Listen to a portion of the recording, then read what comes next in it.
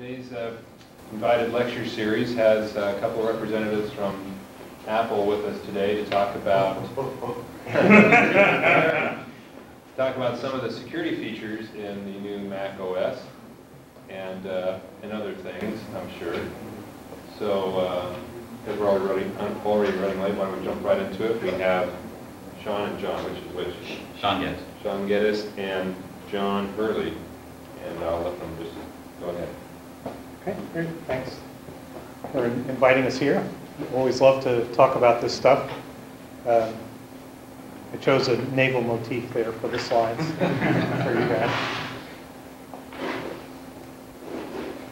Um, So we'll uh, talk mostly about security features, but since uh, some people may not be that familiar with uh, OS 10 in general and and Macintosh, uh, we'll kind of rush through that. I want to make sure there's plenty of time for questions and whatever, and, and also for the things that Sean's going to tell you about.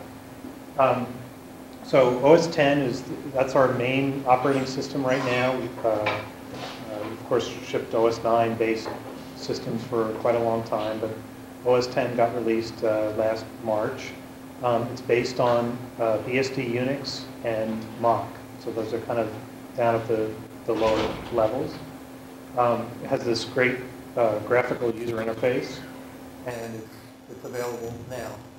Um, one thing I always like to uh, to tell people, uh, actually just seeing Paul's office reminded me of it again. Uh, a lot of places are set up where they have um, a Unix box and a Windows box, and um, they do a lot of their, you know, scientific work or whatever on the Unix box, and then they do their memos in Word uh, on the Windows box. Well, you can toss both of them out the window, replace them with one Mac, and do all the Unix stuff on the, the Unix layer underneath, and then still uh, run your, uh, well, your PowerPoint presentation or uh, write your memos in Word uh, on the Mac. So think seems like it's kind of early for a demo, but I just pop, pop right in uh, to this because I thought it was important. First of all, this um, PowerPoint that you're seeing is, is um, the new version of Office uh, from Microsoft for 10. So it's running natively on 10. It's not running through Classic. Um, and let me just hide that. I wanted to show this. So if you're used to, to Unix, you're a little uncomfortable with this Mac you know, touchy-feely graphics kind of thing, and you get worried, just run terminal. Oops, come back here, terminal. Hit this little green button to maximize the window, and now you should feel okay. Okay, everything. you know, you can type in ls, you can do uh, whatever. So it's okay. That's just to show you. It's really Unix underneath. Um, you you know, we do use, uh, certainly in engineering, we use Unix a lot. To, it's more convenient for certain things uh, than the Finder is. Um, but it's really important to note that that's the base, and there's a lot of code that we've already seen ported over from Unix. People say, hey, this should port right over, and they try it out, and it, and it actually does. Uh, as we were telling some people earlier, um, you know, we have the GCC compiler. Uh, it's got 295, I think, and some, some nice C++ features and whatever. So anyway, that stuff's all there. Um, let me hide that and pop back into PowerPoint. Oops, sorry, wrong one.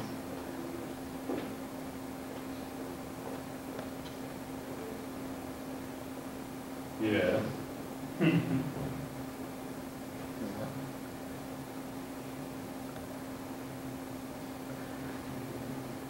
Well, you can see multi multitasking in action as it launches Excel instead. No, we don't want Excel. Come back here to PowerPoint.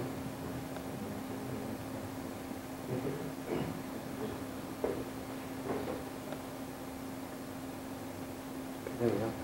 Okay, so back to back to our slides here.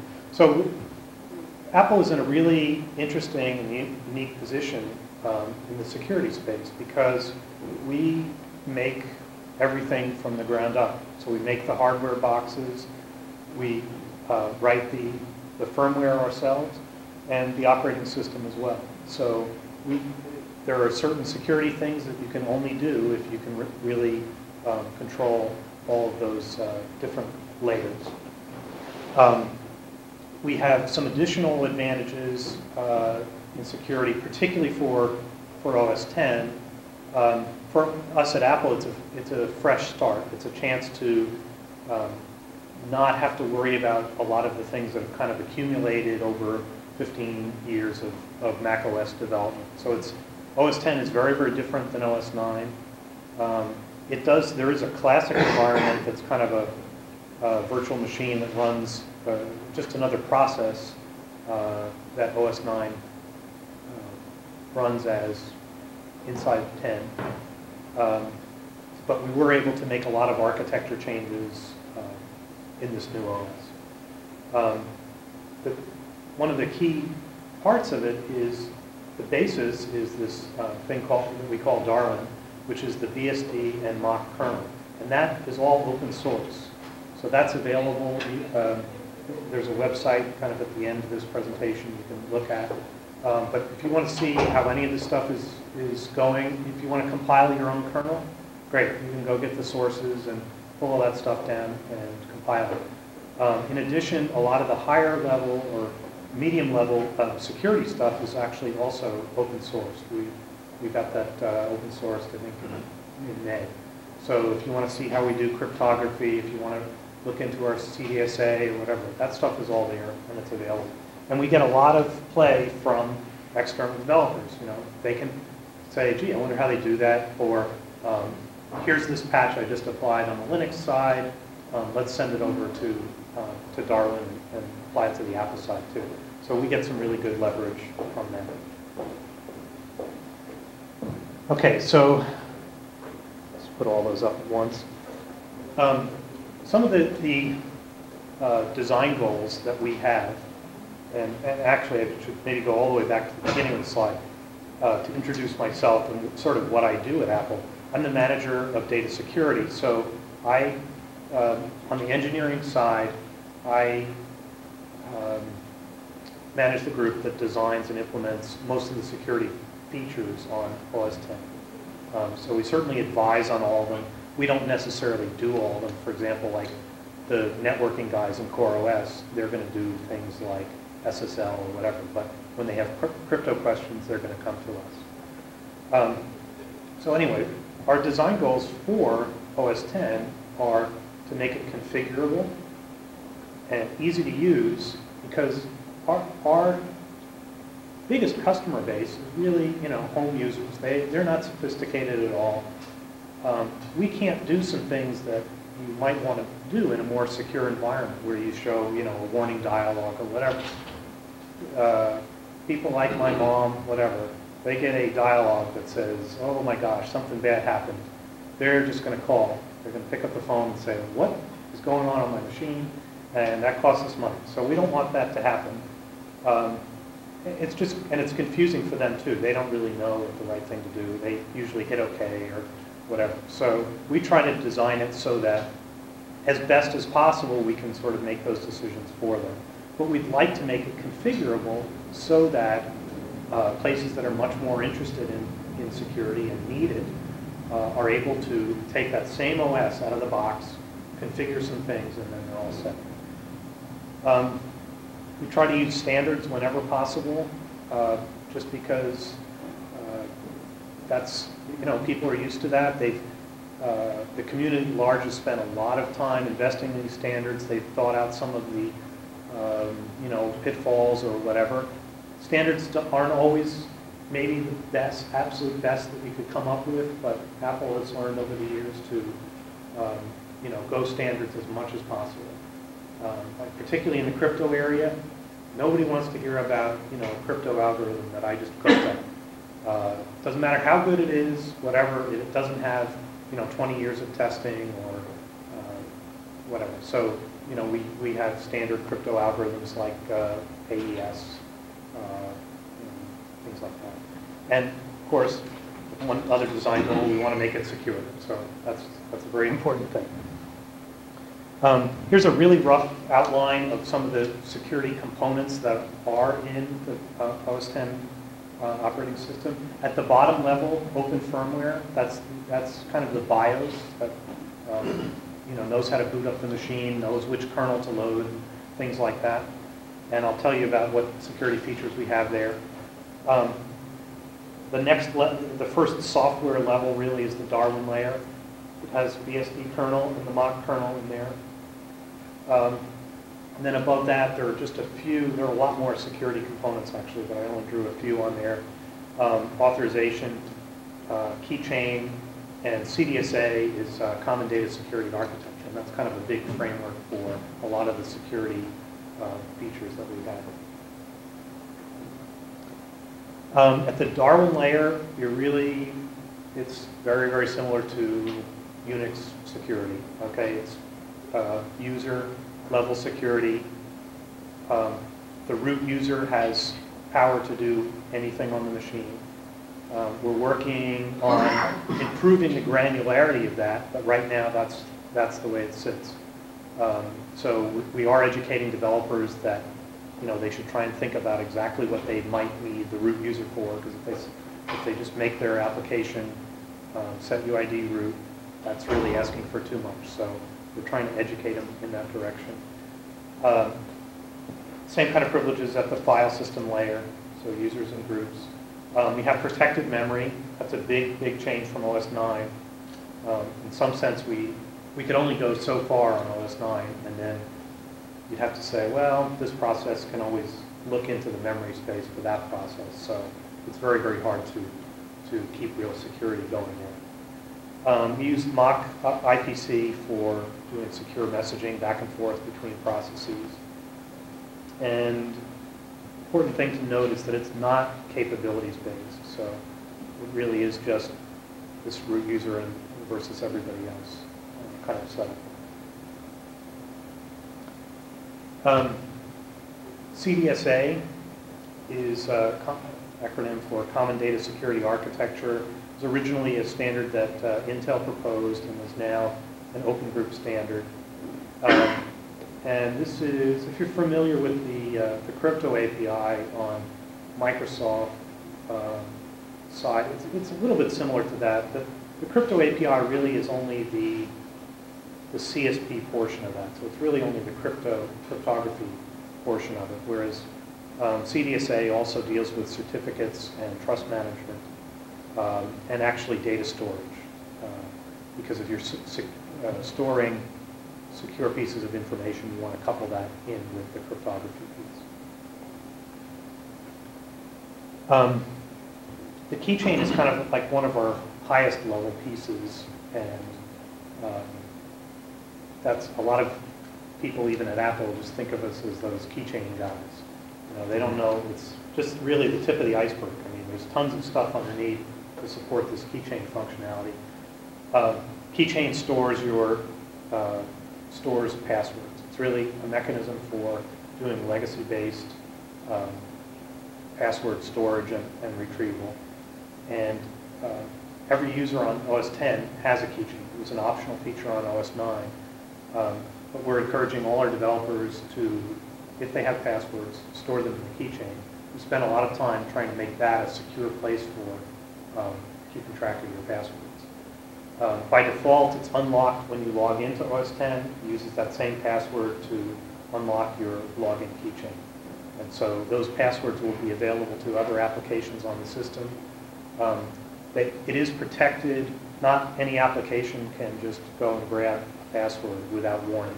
So you can set up an access control list saying, you know, only this application will be able to use this password, or this list of applications will be able to use it. Anybody else that tries to do it, they'll get a dialog saying, hey, this application's trying to, to use it. So you can't really get some virus or whatever just saying, okay, give me all your passwords. Um, see. Um, I wanted to talk a little bit about the authorization API to, to point out one of the areas where we're trying to make things more granular. Um, We, we're trying very hard to modularize the security decisions that we have in OS 10. Um, We can't, know, we can't have a 100% secure system out of the box, well, probably never, but even, you know, every release is going to require that we do incremental stuff. Um, But we- what we'd like to do is, as we do one of those blocks, make it as, as good as we possibly uh, can. So what the, the authorization API is um, to help us make things more granular. So there's not this root user versus uh, a regular user. We're trying to get applications to ask for which privileges they actually need to do certain operations. And one of the key distinction, distinctions that we've made is distinct, uh, distinguishing between authorization and authentication. People tend to lump them together because usually to, to uh, obtain an authorization, you usually are required to authenticate yourself. And so people blur that line and mush them together. But we found out that that's not what you always want to do. You don't get the, uh, as much flexibility as you need. So authorization is really a yes-no question. Am I allowed to erase this hard drive? Am I allowed to mount this CD? Am I allowed to log in? Um, that, those are all things that are actually just return a yes-no answer. Um, now, they might have some sideband information that you need to actually do the operation, or as a side effect, they may require you to prove your identity in some way, to know that you are an admin user or, or whatever. Um, the authentication step there that may be part of the, the permission you need um, might establish your identity. So it might be able to, might be a fingerprint that could tie in with an actual person. It could be just something you know, like a password, the username and a password. Um, who you are, what you know, and what you have. Those are three different things. So like actual physical things, biometrics, um, things that you know like passwords, or um, things that you have like a smart card or some kind of token uh, that you can actually supply. Um, The authentication step could succeed trivially. You could just say, you know, um, uh, are you this person? Just come back and say yes. So you might not have any user interaction uh, required to actually complete that authentication step. Um, There are some examples that just, again, to call it the difference between authorization and authentication. Um, The last two on authorization, logging in at the console or logging in remote, remotely, you can easily see that there might be different requirements for that. Um, and different privileges that, that could be um, awarded to you as a result of succeeding in either one of those. So it's, it's a good thing to be able to call those out.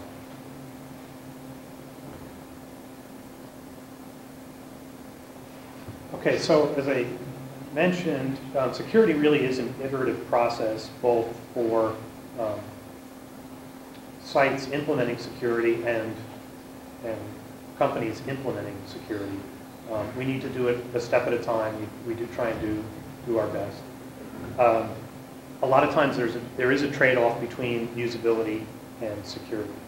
So you, uh, something might be more secure, but it's more of a pain in the neck to use. I mean, you have to keep typing your password or inserting a smart card or whatever. Um, as much as possible, we are trying to make it more usable and more secure. So that, that is possible at times uh, by, uh, for example, caching information. Like if you know, if we have developers using this authorization API, since it's funneling through a single bottleneck, we can do things, or the administrator can configure things, saying um, like, well, gee, you just authenticated two minutes ago. So even though you're asking for a totally different right, we can check and make sure that you're still, uh, still okay and not have to bother you with the password. Because if security is too obtrusive, people just try to get around it. So um, in a lot of cases, if you make it easier, you can also make it more secure too. Okay, so here are some of the different layers that, um, let's say you're trying to secure a system, an OS 10 system. Um, I'm going to go through some different examples of things that you can use or turn on in OS 10 to, to make a system more secure. Uh, First one really is physical security. Open firmware is, is the BIOS layer. The BSD or kernel layer, and then uh, framework and user level. Um, So there's, there are different security things at each, each level there. Um, In terms of physical security for, for desktops, um, you want to actually lock the case. The cases are set up so you can put a padlock through it. Um, If nothing else, it prevents, uh, you know, people from stealing the memory out, out of the inside. But the real important thing from a security standpoint is that there's an application that allows you to turn on um, security and open firmware that prevents um, uh, non-admin users from booting into another operating system. And that becomes really important if you think about it, because we didn't know about all this security stuff on OS 9. It's not implemented there. Um, Or if you boot into some other OS, we can't necessarily make all this stuff come into play if you're allowed to boot into some, some other OS. So using that app, which I'll describe in, in a minute, you can lock that down. The way that, let's say you forget the password for this open firmware, the way that we've implemented it, uh, you can reset that password by changing the physical memory configuration in the machine. So it kind of proves that you have physical access to the inside of the machine. Uh, But it also means that you want to lock that machine so that people can't just change that password. Um, For PowerBooks and iBooks and iPods,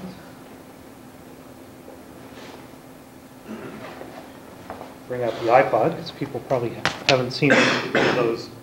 This- This is the new iPod, we just released it uh, a few weeks ago, something like that. Um, I'll talk a little bit more about what you'd use that for. Tho- Those are eminently stealable, right? So um, setting this open firmware password is not going to help you at all because you can just go crack the case and change the memory and you're, you're away. So what you pretty much have to do is, okay, A, prevent it from being stolen, but if it is, your data better be encrypted uh, on there because no matter what kind of other things that you do, uh, an attacker can always open up that box, take out the hard drive, and start uh, grabbing your data.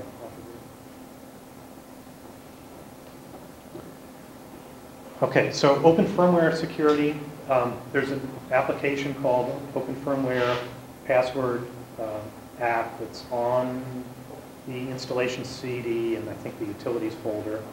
Uh, It's not installed by default because it's kind of considered an admin tool type thing. But it prevents basically all these hotkeys that you might be familiar with. Uh, It prevents those from, from working. And uh, the end goal is to prevent it- an unauthorized user from changing um, your boot device or being able to, you know, boot past your, uh, your version of the OS. Um, uh, Single user mode, I mean, that's a really common thing on, on Unix, right? You boot, uh, uh, on this machine, you can hold down the S key, you're going to go into single user mode, you can create a root account. So as you know, in in Unix terms, that's the end. I mean, once you have a root account, you can do all kinds of stuff. Um, So this is, this app's really important to use. Um, it- it- It's a superset of IEEE 1275. Um, It's, it's an equivalent to, there is a, an open firmware command you can type in, so you could just boot into open firmware and type that in. Um, At the BSD layer, um, one of the really good things about um, OS 10, if you just think about it as a, as a Unix platform, is that as we ship it out of the box, almost all the services are turned on. So as like an administrator installing a bunch of machines, you don't have to worry that if somebody just installs it, they're going to suddenly open, open themselves up by exposing all these services. Um, So like FTP is turned off and Telnet and, and all these things. Um, You know, sure, you can turn them back on, but at least the naive user isn't going to just suddenly be broadcasting all these services. Um, The root password is also turned, turned off by default, so um, you can't just type SU and, and, um, you know, have a root account. Um, The file permissions area may be a little bit different from what you're used to on Unix. Uh, Most of the decisions there revolve around making it work nicely with OS 9. So it's not, it's not exactly like, you know, say, a Red Hat Linux box. You- You find it mostly similar, but, and in places where it differs, it is to support um, just OS 9 working right. Um, Almost anything you know about security on Unix is also going to apply pretty closely uh, to to Mac OS 10. Um, You can run a lot of the same type of tools. Um, You know, you can take command line tools and recompile them and run them on 10. Um, You can take, there are a lot of things on the web for looking at vulnerabilities of um, Unix systems. They're also going to run on 10. Usually, the ones that I've taken over and tried, they just report um, no holes, pretty much. And there's, uh, just because we have so much, many things turned off. Um, But they, they are interesting, interesting to run. Um, see what else. Some of the, the higher level configuration changes that you can make and should make to, to your OS 10 box. By default, auto login is turned on, so you boot up the machine, it logs you in as, you know, whatever user you set up with, uh, set up the machine with. Uh, That's kind of an obvious one, but it's worth doing. Um, Enabling the screensaver password, it's a really easy thing to do, but that also protects your machine uh, from just people randomly coming over and being able to hop into your data. Um, If you can, best to set up another user that is not an administrator user on your machine. So don't get in the habit of just logging in as your, as your admin user. Um, That'll kind of prevent even yourself from making mistakes that might require you know, admin access. Um, And lastly there is um, apply software updates because we do release security patches as part of the software update process. Um, If you're not familiar with OS 9 or 10, really, the, um, uh, on 9 and 10, we have this uh, app called Software Update that knows how to go to a server that we have and check to see if your machine needs to be updated. And it can automatically update it, update it for you. So that's, that is a good thing to, to apply those changes. Um, To talk before about, about the keychain, you can have um, many, many different keychains. Um, You don't just have to have the login keychain. Um, The password can actually be longer than the- the login password. So that's, that's useful sometimes. Um, There are a couple changes that you can make to your keychain to make that more secure. So you can set a timeout so that the keychain is not unlocked uh, all the time. And you can set it so that when the machine sleeps that it also locks. So your passwords aren't going to be um, available for use until you unlock the keychain again. Um, Each password that's in the keychain actually has an access control list of which uh, applications can access it. And one thing is that the the iTools password, which you use to get to your iDisk or your Mac.com account or things like that, by default, um, that doesn't have, that will allow any application to access it. So it's better to go in and change the access control list for that, um, for that password. And then if you have some really sensitive passwords that you don't want to have available right after you log in, you can always put them in a second keychain. The first time an app needs to use them, it will ask you for the password for that other keychain. So you don't really have to think about it too much, but you may want to move some things in there. So protecting your data, um, actually I'll hop to the end of that slide first. On OS 9, we had an application called Apple File Security, which would kind of encrypt one file and then decrypt it. And it's, okay, it's there, but it's really um, not that great because, of course, your, the, the file is sitting around unencrypted, and then at one point, it's sitting around on your disk. So it may be possible using some recovery tools to actually find that file. Um, on as of OS 10.1, we have this really, really cool feature called encrypted disk copy images. If you've ever used the disk copy application, you can create these disk images that, um, to the, uh, if you look at them in the Finder, they're just a file. But if you double-click them, uh, disk copy will open them, and then, then they appear to the rest of the system as a volume. And you can use them just like any other volume, just like a hard disk or a, you know, a zip disk, whatever. Copy files to them. As you copy the files to them, they're encrypted. When you are reading the data off, it's decrypted on the fly. Um, it's, it's really pretty high performance, um, and I'll show you how I have this machine set up so that actually all my data that's not public data is all automatically in this encrypted disk um, copy image. It's a really good, thing. if you have portables that you're carrying around that, that might have sensitive data, it's a really, really good thing to set up uh, in this way. Does that not work on OS nine? Doesn't work on OS 9. So all the, yes, Well, the vulnerability, the vulnerability you mentioned a minute ago was uh, the unencrypted version still might be around in the previous OS, version, right? right.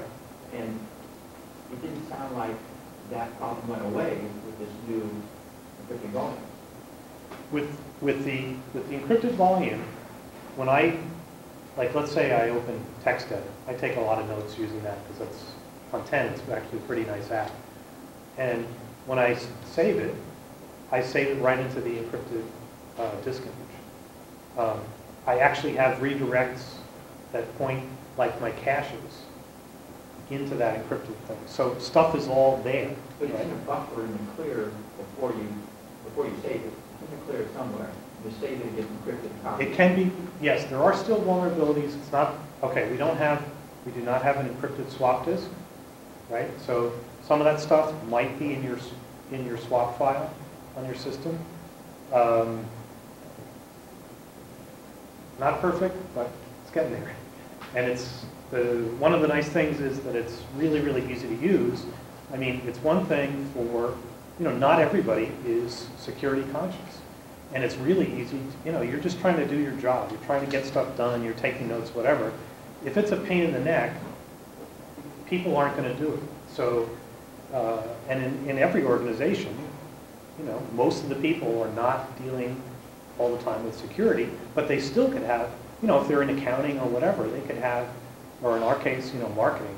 Gosh, that's even more, more secret in Apple than anything else, our marketing stuff, right? They want to be able to store that.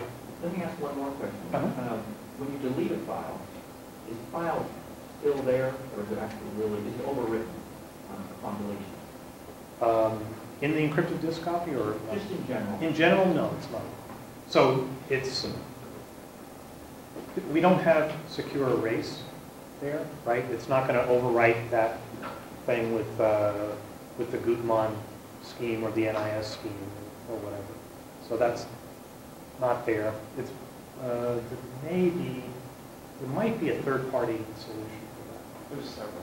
Actually, if I can jump in, I think the question that you had asked about nine, when John talked about encrypting that individual file, remember in nine, you've got essentially the whole disk is an unencrypted image, uh, unencrypted volume, and you're encrypting just one file, so the file that was deleted technically was just marked as a deleted file, so it still sits there.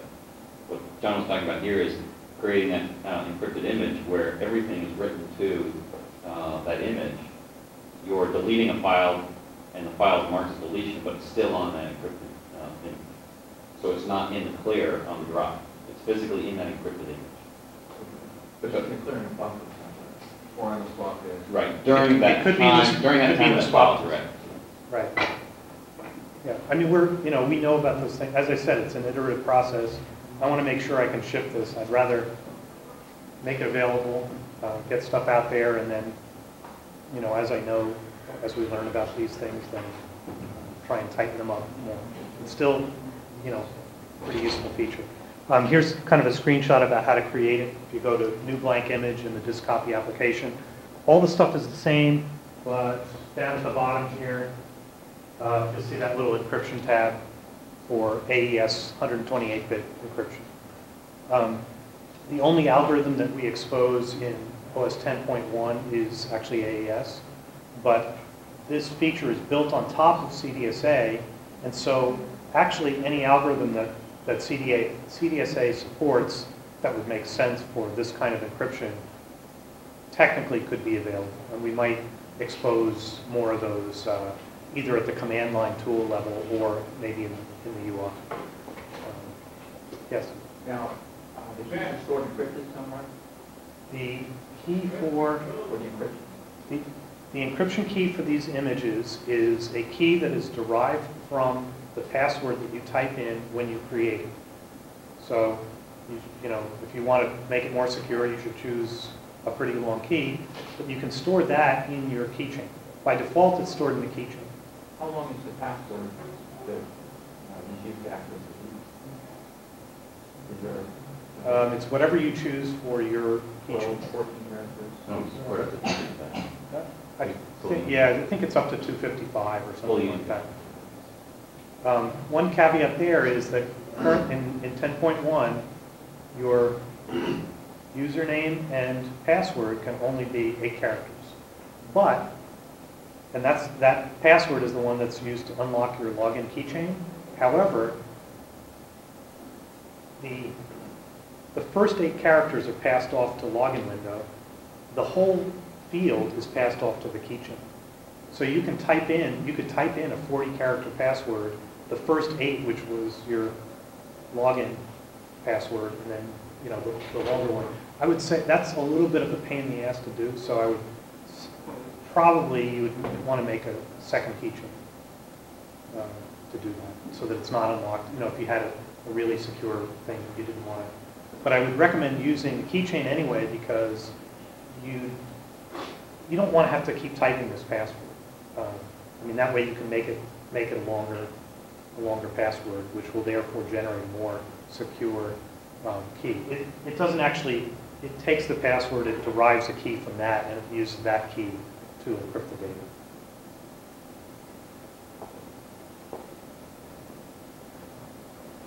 Um, So a little bit more about encrypted disk, disk copy.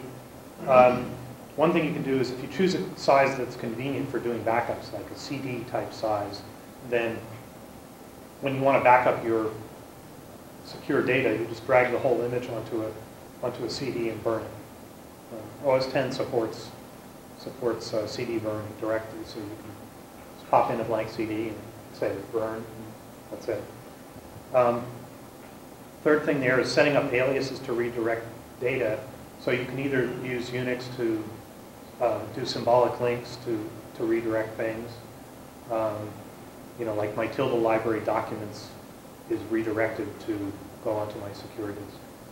Uh, And you can add that disk to your login items so that it's automatically mounted when you, when you log in. That means that you're not going to forget that you need to mount that. Um, Performance is good, and as I said, it's really important for PowerBooks or iBooks because those can disappear and you want your data to be safe. Yes? Take it back a bit, you, you said the uh, keychains are protected by ACLs, and the ACLs contain program names? The- The ACLs um, contain um, program information. It's, it's a uh, signature of the application that's accessing it. The digital signature of the application Yes. is what is in the ACL. Yes. For the item inside the key. It's, it's a per item ACL, so you can have different ACLs for each. What signs Item. the application? Currently in 10.1, it's, it's not a full digital signature, so it's, you know, it's doing a cryptographic hash of some subset of the file, and that's really, it- that's And for, that key is what? what's that? And that key is, The key, you're doing cryptographic hash. yeah, that's using SHA-1 hash of some bytes in the file, some number of bytes. So it's, it's not a perfect way of identifying which app, but it's, it's pretty good. We're working on it. Yes? Can the OS itself live on an encrypted uh, line? Yes, you can actually, oh, sorry, no. You can, no, you can boot off like an external device, but you can't encrypt everything. We don't have, we don't have a full setup for doing that. But I, I think um, setting the machine up very much like I have this PowerBook set up is, is a pretty good setup. So, I mean, well, in fact, if you want me to show you, maybe that will illustrate sort of how I have I think I it. understand, you just have your data in an encrypted volume, and everything else is unencrypted, right? Right, right. So for, for example, here I have one disk that's partitioned. The first partition has OS 10 that's, that's stock OS 10. Nothing else is on it, right? So if I was an attacker, I could go to the store and buy that, and I would find out all that stuff. But if I need to find out any data, they're not going to find it. You can install an application to those encrypted volumes, Yes, you could. But again, with an application itself, like the, the application, if you can go buy it at the store, then why hide that? I mean, what you really want to hide is the data that that's, that that's protected. Uh, Yes. Can you um, change the location of your swap file so that it um, is created on an encrypted uh, image file? Maybe. I haven't tried it. I know there are, there are certain things that you can't redirect to um, an encrypted image, and I consider those bugs. So we'll be looking at those and, and figuring out ways to, you know, to make that work. Um, Yeah, there are a few, I start, we're- looking through them. But you can, tr- you know, you can always try it out. It's easy to, to just create a symbolic link or an alias and um, see what works. Um, I have a lot of stuff redirected. Um, So some of the, the uh, security efforts that we're doing at Apple, um, I did pr- talk pretty much about um, Darwin and open source, but that is a great advantage for us. Um, I'll let Sean talk about that. Um, but it does let, let a better peer review of crypto code and, and security code in general. Um, and it's a little bit easier to do export compliance, although not, a whole lot. Um, and then a lot of people are just looking at it, right, so they can see if there are security holes. Um, few of the standards that, you know, we, do- we have a lot more standards. I just put down a few. We, we have smart card support through PCSC. CDSA is crypto and, and public key infrastructure. Um, Kerberos, we have the implementation from MIT. Um, we're doing some work with NIST on, uh, they're defining some new security APIs, which we'll actually implement on top of CDSA. Um, we have a, a product security webpage. Um, security, you don't hear security talk that much from Apple. Apple's really low-key about it. Um, But there is a place to go where people can report issues that they, they've found. Um, And we do work with CERT and, uh, and FIRST and FreeBSD. As, you know, advisories come in, we, they go immediately out to a team of people um, in different areas and, you know, we say, okay, are we vulnerable to this? And if so, you know, how do we patch it and how do we distribute it and all that? Um, So we, we look at security incidents um, really quickly. Um, I will totally let Sean talk about STOS, and I wanted to do another, another quick demo. Find the right thing running here.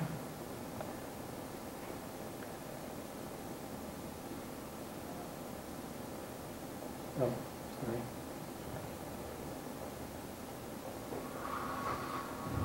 You can't hear the sound, but the sound's going. And I don't know, you'll see this, this go on. Um, The movie itself, you've probably seen it, it's kind of an old trailer. But the- the really interesting thing is, this is playing live off the encrypted disk, disk copy image. So, and this is a a 400 megahertz machine. If you ha- uh, On faster machines, you can do full screen, uh, you know, full sound uh, video. So the point is that that basically the performance is, is really pretty good. I mean, I don't think you'd want to do video editing on it, but almost everything else, certainly, I mean, this PowerPoint presentation is being run off the encrypted disk copy image. Um, I do save all my notes, I save my email, um, just about anything can go on here, and it's, it's plenty fast. Can you explain the functionality of the security iPod?